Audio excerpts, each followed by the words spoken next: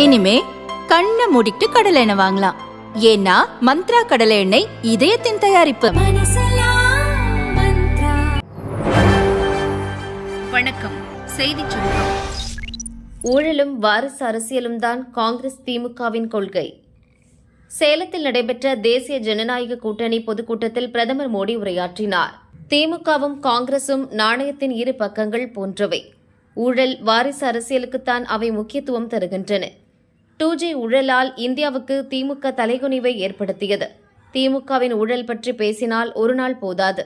தமிழகத்துக்கான மத்திய அரசின் நலத்திட்டங்கள் மக்களை சென்றடைய விடாமல் திமுக காங்கிரஸ் தடுக்கிறது. மத்திய அரசு வழங்கும் நிதியை திமுக வீணடிக்கிறது. ஒரே குடும்பம் ஐந்து தலைமுறைகளாக ஆட்சி செய்ய நினைப்பதுதான் அக்கட்சிகளின் ஃபைவ் ஜி டெக்னாலஜி. குடும்ப அரசியல் செய்யும் காங்கிரஸ் தமிழகத்தில் மூப்பனார் காமராஜர் போன்ற தலைவர்களை கண்டுகொள்ளவில்லை. இந்தியா மற்றும் தமிழகத்தின் வளர்ச்சிதான் தேசிய ஜனநாயக கூட்டணியின் லட்சியம். இந்தியாவை புதிய உச்சத்திற்கு கொண்டு செல்ல நாங்கள் இணைந்து செயல்படுவோம். இது தமிழக மக்களுக்கு நாங்கள் தரும் கேரண்டி அடுத்த ஐந்து ஆண்டுகள் தமிழக வளர்ச்சியின் முக்கியமான காலமாக இருக்கும். ஊழலுக்கு எதிரான எங்கள் போராட்டம் தீவிரமாகும்.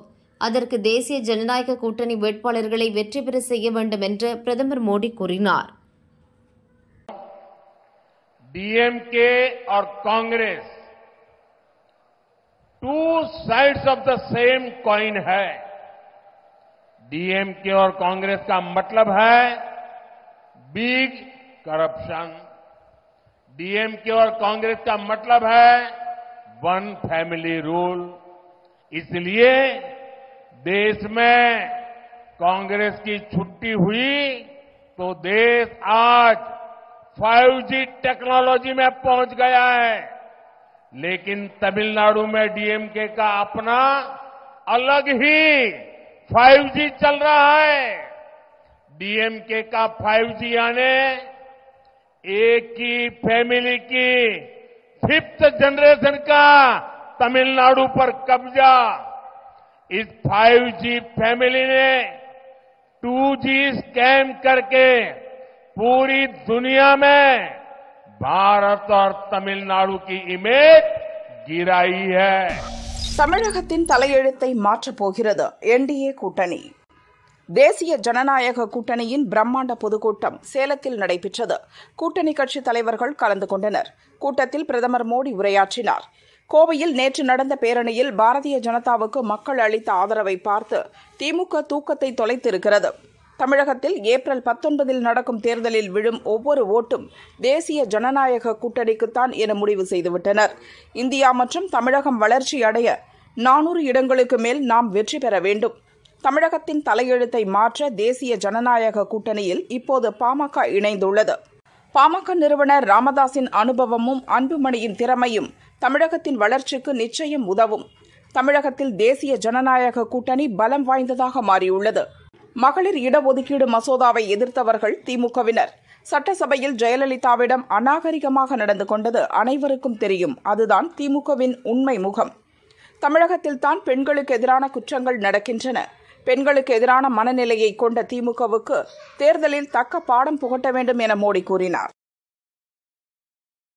इंडी अलायंस के लोग महिलाओं के साथ कैसा व्यवहार करते हैं तमिलनाडु इसका साक्षी रहा है। आपको याद होगा, जब जयललिता जी जीवित थी, तब डीएमके के लोगों ने उनके साथ कैसा बिहेव किया था। यही डीएमके का रियल फेस है। इसलिए ये लोग पार्लियामेंट में विमेन रिजर्वेशन बिल का भी விரோத் கர்த்தே சீட் தரலனாலும் உழைக்கிறீங்களே. கூட்டணியை பாராட்டிய ஸ்டாலின் ஒன்றுபட்டு நிற்போம் வென்று காட்டியே தீருவோம் என்ற தலைப்பில் கூட்டணி கட்சிகளுக்கு முதல்வர் ஸ்டாலின் கடிதம் எழுதியுள்ளார். திமுகவுடன் இணைந்து நிற்கும் தோழமை கட்சியினர் அனைவரையும் வரவேற்கிறேன். மதவெறி சக்திகளை வீழ்த்தி மத நல்லிணக்கம் தழைக்கவும் அரசியலமைப்பு சட்டம் வழங்கியுள்ள ஜனநாயகத்தை மீட்கவும் இண்டி கூட்டணியை வரும் லோக்சபா தேர்தலில் வெற்றி பெறச் செய்ய வேண்டும். கடந்த பத்து ஆண்டு காலமாக மத்தியில் பாஜக அரசு ஆட்சி செய்து வருகிறது. மாநில உரிமைகளை பறித்த பாஜக ஆட்சியை விரட்டிட இண்டி கூட்டணியில் இணைந்து திமுக தேர்தலை சந்திக்கிறது. நடைபெறவிருக்கும் லோக்சபா தேர்தலில் யாரை வீழ்த்த வேண்டும் அதற்கு எந்த வகையில் தங்கள் பங்களிப்பை வழங்க வேண்டும் என்பதை தோழமை கட்சிகள் உணர்த்திவிட்டன. சட்டமன்ற தேர்தலில் வெற்றி பெற்ற மனிதநேய மக்கள் கட்சிக்கும் தமிழக வாழ்வுரிமை கட்சிக்கும் லோக்சபா தேர்தலில் இடம் ஒதுக்க இயலாமல் போனது. இருந்தும் தொகுதி பங்கீட்டில் சீட் பெறாத தோழமை கட்சியினரும் அவர்களது ஆதரவை தந்து தேர்தலில் வெற்றி பெற பணியாற்ற முடிவெடுத்திருப்பது ஆக்கப்பூர்வமான ஜனநாயக பண்பை எடுத்துக்காட்டுவதாக உள்ளது. வரும் லோக்சபா தேர்தலில் நாற்பதும் நமதே நாடும் நமதே என்கிற வகையில் இண்டி கூட்டணி மகத்தான வெற்றியடையும். மத்தியில் ஆட்சி மாற்றத்தை நிகழ்த்தி காட்டிட தங்கள் அனைவரின் ஒத்துழைப்பையும் வேண்டுகிறேன் என ஸ்டாலின் கேட்டுக்கொண்டார். தெரிஞ்சுக்கிட்டு பேசுங்க. அண்ணாமலை சீற்றம். காங்கிரஸ் எம்பி ஜெயராம் ரமேஷ் பிரதமர் மோடிக்கு சில கேள்விகளை சமூக வலைதளத்தில் முன்வைத்தார். கடந்த சில வாரங்களாக தமிழகத்துக்கு அடிக்கடி செல்லும் பிரதமர் மோடி வரலாறு காணாத வகையில் அந்த மாநிலத்தை நிராகரித்துள்ளார். இரண்டாயிரத்து இருபத்தி மூன்று டிசம்பரில் மிக்ஜாம் புயலால் தமிழகம் பாதிக்கப்பட்ட போது பிரதமர் அங்கு செல்லவில்லை. புயலுக்கு பிறகான மீட்பு நிவாரணப் பணிகளுக்காக முப்பத்தி ஏழாயிரத்து தொள்ளாயிரத்து ஏழு கோடியை விடுவிக்கும்படி தமிழக முதல்வர் மோடி அரசை பலமுறை வலியுறுத்தினார். தமிழகத்தின் இந்த நெருக்கடியை சரிசெய்ய மோடி திட்டமிடுவாரா? சேலத்துக்கு செல்லும்போது பிரதமர் மோடி அங்கு பல நிறுவனங்கள் மூடப்பட்டும் தொழிலாளர்களின் வேலை நேரம் குறைக்கப்பட்டிருப்பதையும் காண்பார் என நான் நம்புகிறேன். பண மதிப்பிழப்பு ஜிஎஸ்டி மற்றும் திட்டமிடப்படாத கோவிட் ஊரடங்கு மூலம் சிறு குறு தொழில்களை ஒரே நேரத்தில் அழித்தார். அவற்றை மீட்டெடுப்பதற்கு மோடியிடம் என்ன திட்டம் உள்ளது என ஜெயராம் ரமேஷ் கேட்டிருந்தார். அவரது கேள்விக்கு தமிழக பாஜக தலைவர் அண்ணாமலை பதிலடி கொடுத்துள்ளார். ஜெயராம் ரமேஷ் அவர்களே தமிழகத்தின் பெருமையான ஜல்லிக்கட்டை தடை செய்தவர்களுக்கு இப்போது தமிழகத்தின் மீது புதிய பாசம் வருகிறது. தேர்தல் நெருங்குவதால் பாசம் வரும் என்பதை புரிந்து கொள்ள முடிகிறது. கோபுரத்தின் உச்சியில் அமர்ந்திருக்கும் காங்கிரஸ் தலைவர்கள் கல யதார்த்தத்தை பார்ப்பதே இல்லை. கடந்த ஆயிரத்து தொள்ளாயிரத்து எண்பதுகளில் இருந்து காங்கிரஸ் ரொட்டி கப்படா மக்கான் என்ற தனது தேர்தல் வாக்குறுதியை மாற்றவே இல்லை. வெள்ள நிவாரணத்துக்காக தமிழகம் கேட்ட தொகை பதினைந்தாயிரத்து அறுநூற்று நாற்பத்தி ஐந்து கோடிதான். இது மக்களவையில் நிதி அமைச்சகத்தால் உறுதிப்படுத்தப்பட்டுள்ளது. நீங்கள் சொல்வது போல முப்பத்தி எட்டாயிரம் கோடி இல்லை. மத்திய அரசு தமிழக அரசிடம் வெள்ள நிவாரணமாக முப்பத்தி எட்டாயிரம் கோடி கோரியதற்கான விவரங்களை கேட்டது. ஆனால் திமுக அரசு பதில் சொல்லாமல் தொடர்ந்து மௌனம் சாதிக்கிறது. இந்த விஷயத்தை அரசியலாக்குவதற்கு முன் திமுகவிடம் தேவையான தகவல்களை ஜெயராம் ரமேஷ் வாங்கித்தர முடியுமா?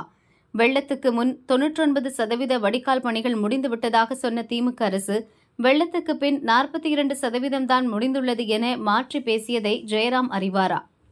தமிழகத்தின் கைத்தறி தொழில் திமுக அரசின் இயலாமையினால் தான் தள்ளாடி வருகிறது. மின்சார கட்டணம் பதினைந்து சதவீதத்திலிருந்து ஐம்பது சதவீதம் வரை உயர்த்தப்பட்டுள்ளது. பீக் ஹவர் கட்டணம் முப்பத்தி ஐந்து கிலோ வாட்ஸில் இருந்து நூற்றி ஐம்பது கிலோ வாட்ஸாக உயர்த்தப்பட்டுள்ளது. நிரந்தர கட்டணம் பெருமளவு உயர்த்தப்பட்டுள்ளது. இலவச வேஷ்டி சேலை வழங்கும் திட்டத்தில் திமுக அரசு நடத்திய மிகப்பெரிய ஊழலை தமிழக பாஜக சமீபத்தில் அம்பலப்படுத்தியது. தமிழக கைத்தறித்துறை அமைச்சர் கைத்தறி தொழிலாளர்களுக்கு ஆர்டர் வழங்க குறிப்பிட்ட தொகையை கமிஷனாக பெற்றுக்கொண்டு தொழிலாளர்களை சுரண்டுகிறார். திமுக அரசின் இயலாமையினால் அம்பத்தூர் தொழில்பேட்டை வெள்ளத்தில் மூழ்கியது. மத்திய நிதியமைச்சர் நிர்மலா சீதாராமன் பாதிக்கப்பட்டவர்கள் தங்களின் தொழில்களை மீண்டும் தொடங்க காப்பீட்டு நிறுவனங்களுடன் பேசி தேவையான ஏற்பாடுகளை செய்தார். ஜெயராம் ரமேஷ் அவர்களே. கேள்வி கேட்பதற்கு முன் அதை பற்றி தெரிந்து கொண்டு கேளுங்கள். உங்களுடைய கேள்விகள் எல்லாம் திமுக அரசிடம் கேட்கப்பட வேண்டியவை. பிரதமர் மோடியிடம் இல்லை என்பதை புரிந்து கொள்ளுங்கள் என அண்ணாமலை கூறியுள்ளார். பத்து நாள் நீடித்த போலீஸ் கஸ்டடி. சென்னையிலும் நடந்த விசாரணை. வெளிநாடுகளுக்கு இரண்டாயிரம் கோடி ரூபாய் மதிப்புள்ள போதைப்பொருள் கடத்திய வழக்கில் மூளையாக செயல்பட்ட சென்னையைச் சேர்ந்த ஜாஃபர் ஷாதிக்கை போலீசார் தேடி வந்தனர்.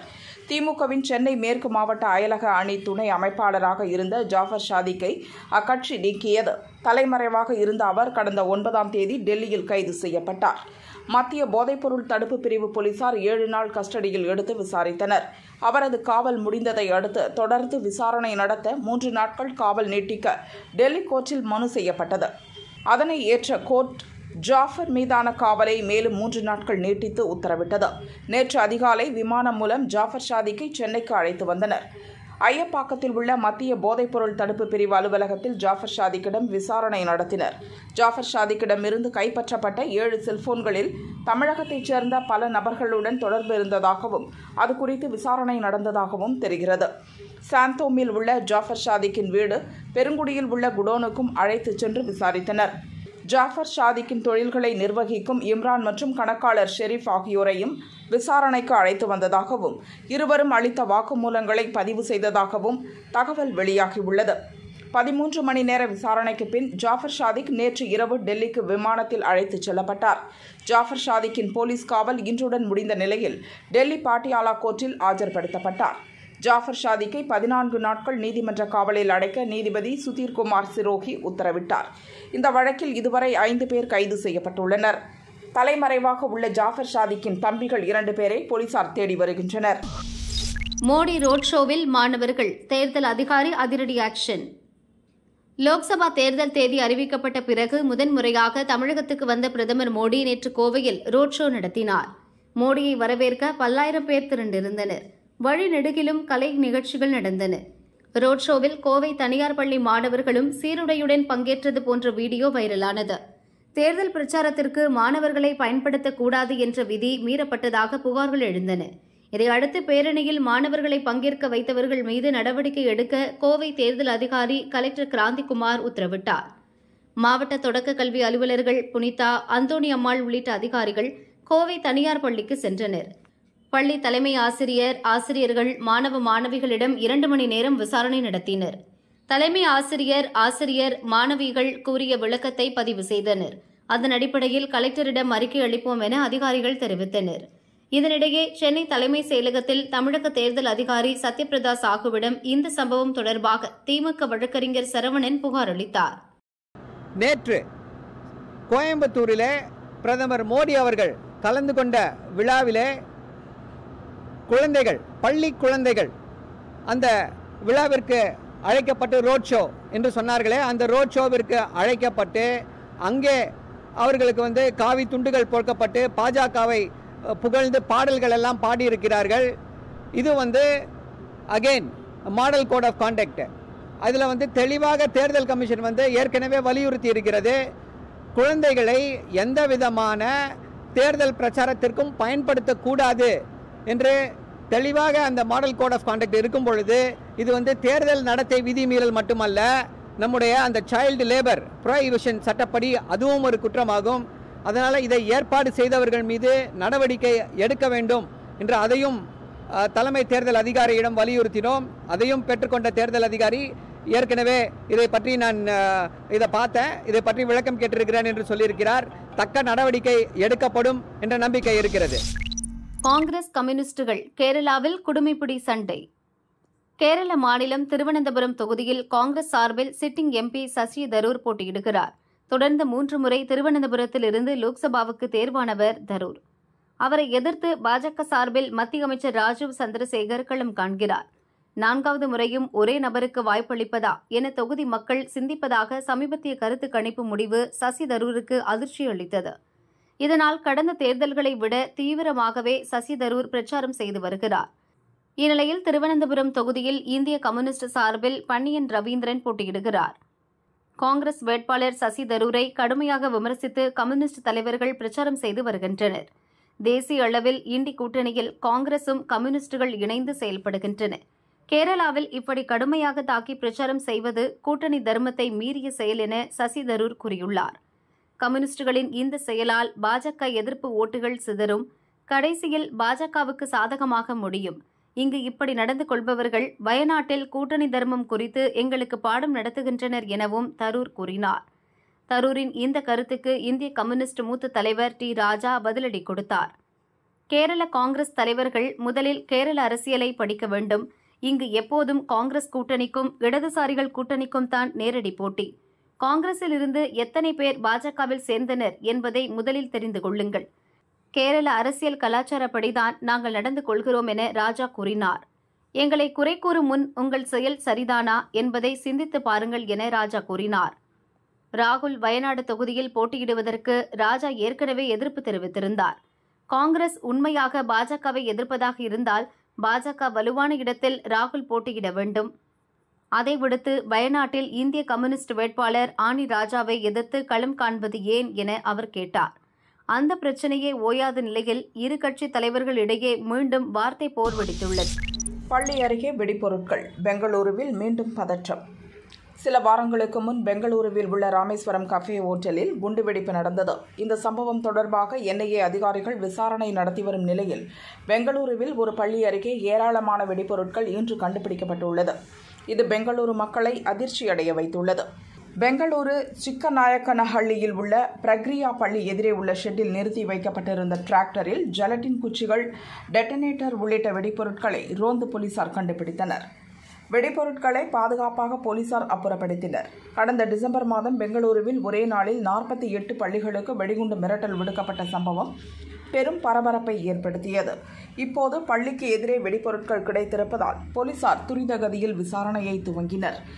ஷெட்டில் இருந்த தொழிலாளர்களிடம் போலீசார் விசாரித்தனர். முதல் கட்ட விசாரணையின்படி கட்டடம் கட்டும் பணியின் போது பாறைகளை உடைக்க ஜெலட்டின் டெட்டனேட்டர் வெடிபொருட்களை கொண்டு வந்திருக்கலாம் என தெரிய வந்துள்ளது அவற்றை கொண்டு வந்தது யார் என தீவிர விசாரணை நடக்கிறது. லோக்சபா தேர்தல் நெருங்கி வரும் நிலையில் பெங்களூருவில் வெடிபொருட்கள் கண்டெடுக்கப்பட்டிருப்பது பரபரப்பை ஏற்படுத்தியுள்ளது. ஜார்க்கண்ட் மாஜி முதல்வரின் மருமகள் பாரதிய ஜனதாவில் ஐக்கியம். ஜார்க்கண்ட் மாநிலத்தில் ஜேஎம்எம் காங்கிரஸ் கூட்டணி ஆட்சி நடக்கிறது. முதல்வராக இருந்த ஜேஎம்எம் தலைவர் ஹேமந்த் சோரன் ஊழல் வழக்கில் கைதானதை தொடர்ந்து கட்சியின் மூத்த தலைவர் சம்பை சோரன் முதல்வராக பொறுப்பேற்றார். ஜேஎம்எம் காங்கிரஸ் இரு கட்சிகளிலும் அமைச்சர் பதவி கிடைக்காத அதிருப்தி எம்எல்ஏக்களால் ஆட்சிக்கு எந்த நேரத்திலும் ஆபத்து என்ற சூழல் நிலவுகிறது.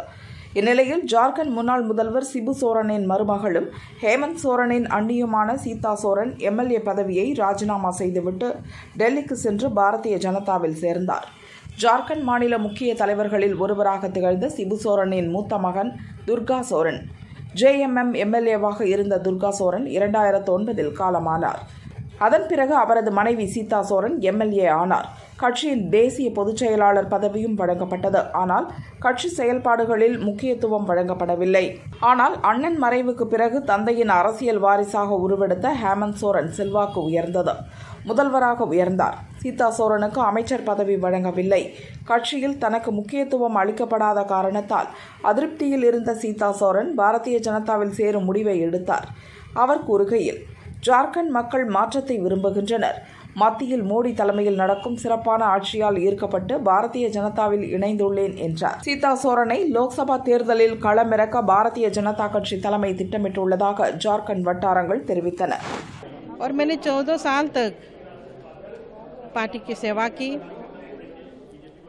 चौदह साल में जो मुझे मिलना चाहिए था सम्मान वो सम्मान आज तक नहीं मिला जिसके कारण ये बहुत बड़ा फैसला मुझे लेना पड़ा। मेरे स्वर्गीय पति दुर्गा सोरेन जी का बनाया हुआ, उनका मेहनत किया हुआ, उनकी ज़मीन बनाई हुई, और हम आज तक अछूते ही रहे हैं। हमें किसी तरह का पार्टी से कोई सम्मान मिला, नहीं मिला है, जिसके कारण आज ये फैसला मुझे लेना पड़ा, और प्रधानमंत्री नरेंद्र मोदी जी के जिस तरह से हमने देखा कि आए दिन पूरे भारत की दौरा कर रहे हैं, विदेशों में भी भारत का नाम है प्रधानमंत्री जी की वजह से। तो इसी चीज़ को देखते हुए विश्वास और आस्था जे पी नड्डा जी, अमित शाह जी, देवेंद्र फर्नांडिस जी जी, उन सब का राय मिलेगा, उन सबका साथ मिलेगा। और हमको झारखंड को बचाना है किस तरह से झारखंड में हम लोग देख रहे हैं, आए दिन ज़मीन की लूट हो रही है। जल जंगल ज़मीन के लिए झारखंड बना था। आदिवासी बहुल क्षेत्र है। आदिवासी हमारे सभी भाई जो है कि उनका जीवन अब खतरे में है। तो उनको बचाने के लिए हमने आज यहाँ मोदी जी के समक्ष उपस्थित हुए।